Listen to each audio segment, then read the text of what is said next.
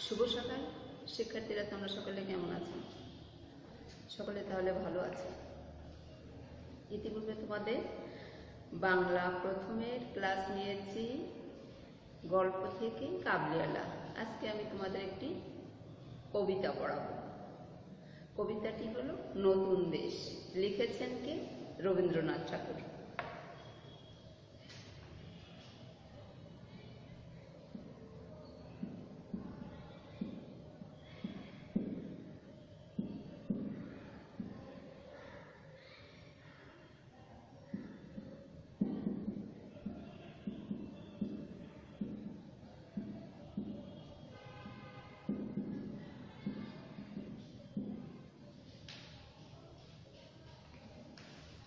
তোমাদের সকলের কাছে বই আছে।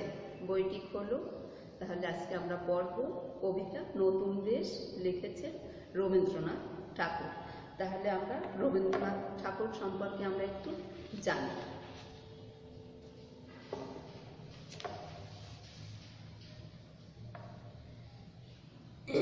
এশীয়দের মধ্যে যিনি প্রথম নোবেল পুরস্কার পেয়ে বিশ্ব সভায় বাংলা ভাষা ও সাহিত্যকে মর্যাদার আসনে প্রতিষ্ঠিত করেছেন তিনি হলেন কবি রবীন্দ্রনাথ ঠাকুর। তিনি আঠারোশো একষট্টি খ্রিস্টাব্দে সাতই মে পঁচিশে বৈশাখ বারোশো আটষট্টি বঙ্গাব্দ কলকাতায় জোড়াসাঁকোর বিখ্যাত ঠাকুর পরিবারে জন্মগ্রহণ করেন।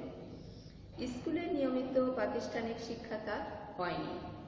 সতেরো বছর বয়সে বিলেতে ব্যারিস্টারি করতে গিয়েছিলেন। সে পড়া শেষ না হতেই দেশে ফিরে আসেন তিনি। কিন্তু স্বশিক্ষা ও সাধনায় একক অবদানে তিনি বাংলা ভাষা সাহিত্যকে এত সমৃদ্ধ করেছেন, যার কোনো তুলনাই নেই। কাব্য, ছোট গল্প, উপন্যাস, নাটক, প্রবন্ধ, সংগীত, সাহিত্যের সকল শাখা তার আচার্য অবদানে সমৃদ্ধ হয়েছে। ব্যাকরণ, ভাষাতত্ত্ব, ছন্দ ও চিত্রকলাতেও তিনি অসামান্য অবদান রেখেছেন। অনন্য সাধারণ তার প্রতিভা। তিনি একাধারে সাহিত্যিক চিন্তাবিদ, শিক্ষাবিদ, সুরকার, গীতিকার, নাট্যকার নাট্য প্রযোজক ও অভিনেতা। শান্তিনিকেতন ও বিশ্বভারতীর মতো প্রতিষ্ঠান করে তিনি শিক্ষায় নতুন ধারা সৃষ্টি করেছেন। রবীন্দ্রনাথের একটি দেশপ্রেমের দেশপ্রেমমূলক গান বাংলাদেশের জাতীয় সংগীত। রবীন্দ্রনাথের লেখা গ্রন্থের সংখ্যা অনেক।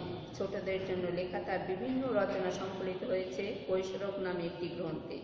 উনিশশো একচল্লিশ খ্রিস্টাব্দের সাতই আগস্ট, বাইশে শ্রাবণ, তেরোশো আটচল্লিশ বঙ্গাব্দ কলকাতায় তিনি মৃত্যুবরণ করেন। তাহলে আমরা কবি সম্পর্কে আমরা জানলাম। তাহলে এসো কবিতাটি আমরা পড়ি। সবাই মনোযোগ সহকারে থাকো এবং শোনো। নতুন দেশ লিখেছেন রবীন্দ্রনাথ ঠাকুর।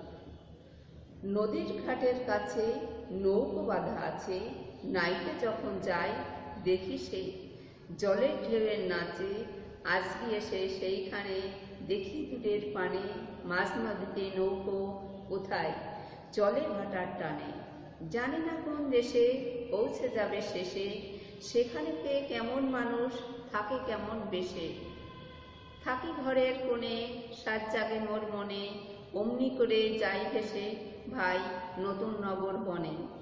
দুঃসাগরের পারে জলের ধারে ধারে, নারিকেলের বনগুলি সব দাঁড়িয়ে সারে সারে। পাহাড় চূড়া সাজে নীল আকাশের মাঝে বরফ ভেঙে ডিঙিয়ে যাওয়া কেউ তা পারে নাচে। কোন সে বনের তলে নতুন ফুলে ফলে, নতুন নতুন পশু কত বেড়ায় দলে দলে। কত রাতের শেষে নৌকে যে যায় ভেসে, বাবা কেন আপিসে যায় যায় না নতুন দেশে। কবিতাটা দেখো কত সুন্দর, খুবই একটা মানে প্রাকৃতিক দৃশ্যের মতন প্রাকৃতিকভাবে বর্ণনা করেছেন। দেখো, খুব সুন্দর একটা ছবি, তোমরা দেখেছ? একটা প্রাকৃতিক একটা ছবি এঁকেছে।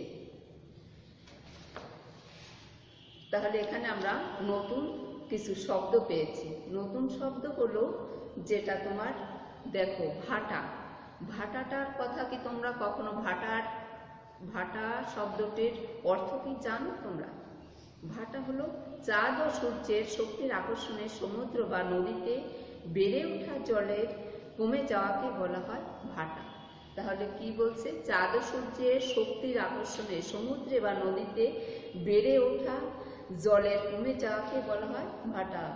নদীতে কখনো ভাটা হয়, আবার কখনো জোয়ার হয়। সেই কথাই বলা হয়েছে। এখানে যে চাঁদ সূর্যের আকর্ষণের ফলে জলে, নদীর বা সমুদ্রের জলের বেড়ে যাওয়া ও কমে যাওয়াটাকে বলা হয় ভাটা।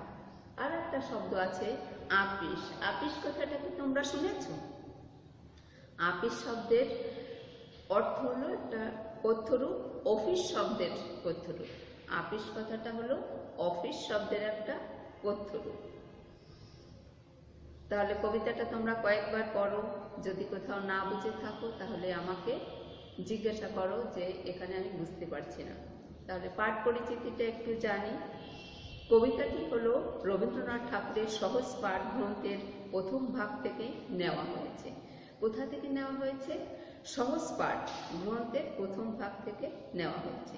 এই কবিতায় অজানার অজানাকে জানার সীমাহীন কৌতূহল এবং প্রকৃতির সকল রহস্য উন্মোচন করার অপার আকাঙ্ক্ষার কথা প্রকাশিত হয়েছে।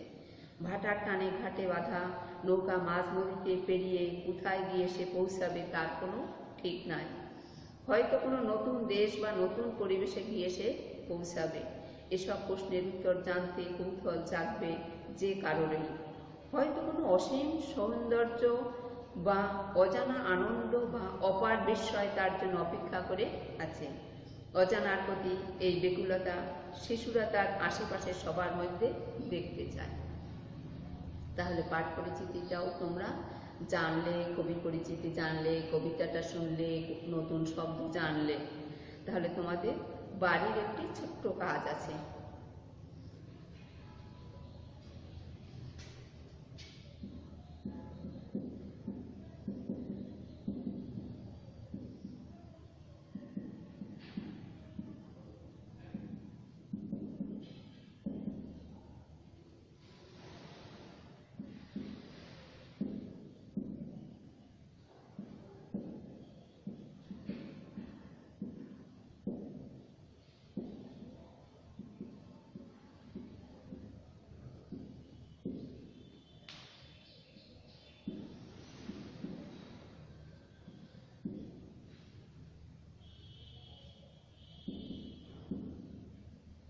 বাড়ির কাজটা লিখে নাও।